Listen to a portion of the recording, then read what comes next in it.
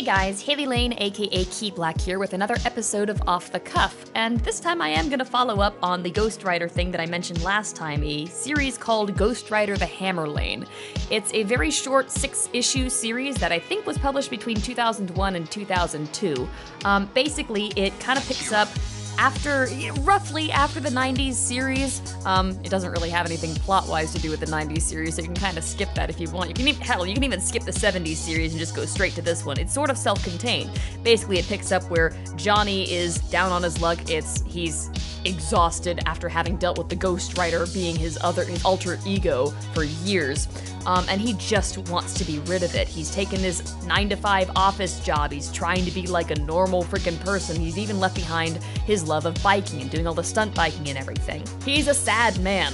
Um, and he's doing his best to try and squish down all of his frustration at this new life that he thinks is going to finally be his reprieve from being the Ghost Rider.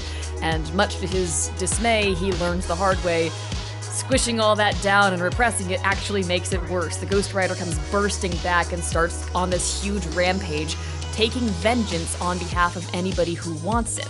That's actually one of the things to start off that I really liked about this comic, which is that it kind of takes the whole Zarathos demon, maybe an angel, who knows, kind of side of whatever the Ghost Rider might be, throws it out the window and reimagines it as this spirit of vengeance. It takes the title very literally. It's basically that which enacts revenge. It's a much more on the nose take. I really appreciated that. And uh, so Johnny, you know, in his horror at what has just happened after realizing that he just became a Ghost Rider and just woke up from it again, um, he starts drinking again. He goes into a bar. He's completely drunk off his ass, and he's terrified. He, I think he asks a preacher for help, and he just he's, he's just terrified, kind of desperate for just some kind of final solution. If only this Ghost Rider could just be dealt with and gotten rid of forever.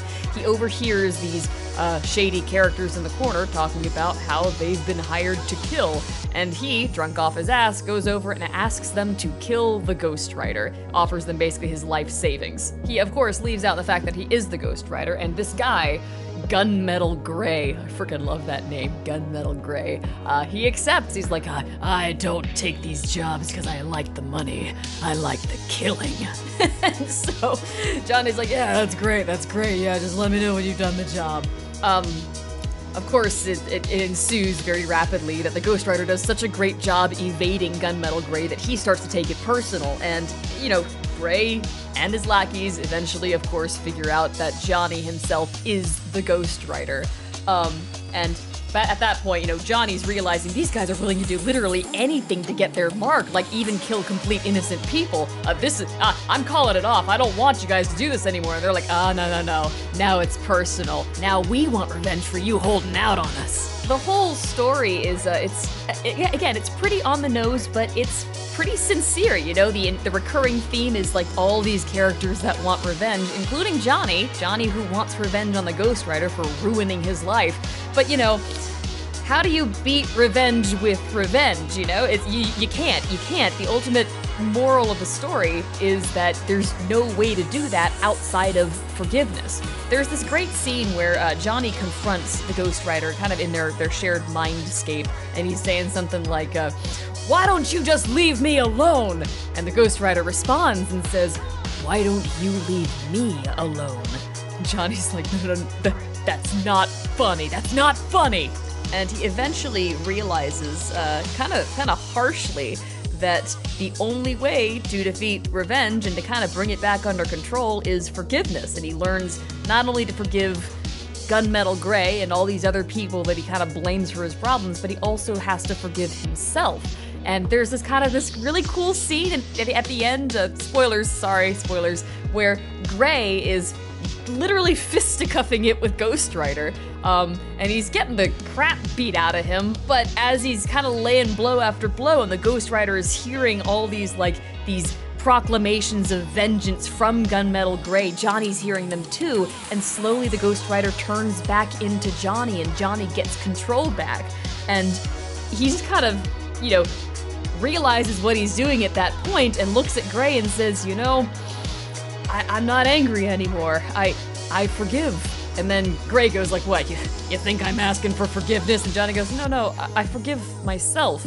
And Gray thinks he's, you know, full of shit, but he's all worn out from all this, you know, this fighting over nothing. You know, he's basically led his own lackeys into death because of their their insane, relentless pursuit of the Ghost Rider for their own revenge. And he kind of, you know, he tries to land in a couple more blows on Johnny now, and uh, Johnny very easily dodges and clocks him and basically knocks him out in one blow. Uh, at which point, Gray kind of goes, "You know what? I'm done. It's not worth it. You win." And so you can picture me reading this for the first time, going, "Yeah." um, I, have always liked that kind of story where, like, you know, I've already said I really like the kind of uh, sort of edgy main character where he's kind of a monster. I almost always inevitably get a crush on a character like that. But what I really, really like is when the story addresses it directly and brings it to its natural conclusion, which is, you know, the character can only defeat that side of themselves by accepting and forgiving and kind of working it into themselves. I only really learned exactly what that was that I liked about it in as many words when I played the character Berkeley Tate in Jess's tabletop RPG campaign, The Rise of Balceros, which I highly recommend. I actually might talk about that in the next video. Um, I, am gonna try to avoid giving any spoilers because it's uh, it's very good. she's a, she's an excellent writer, and this is a very fun high fantasy series. But yeah, uh, I, I, do recommend Ghost Rider to Hammer Lane if you're at all interested in what I found interesting about the Ghost Rider series to begin with. I, I'd say it's kind of it does the same thing for Ghost Rider that I thought the Shadow Year One does for the Shadow. It basically kind of addresses what I wanted out of it, caps it off at a complete story, and then leaves it open enough for you to imagine whatever might have happened next. So yeah, thanks guys for listening to this one. Uh, it was fun to talk about, and I will see you guys in the next video. As always, please leave your questions and comments in the comments section, and I'll have a look at them as soon as I can. Thanks so much!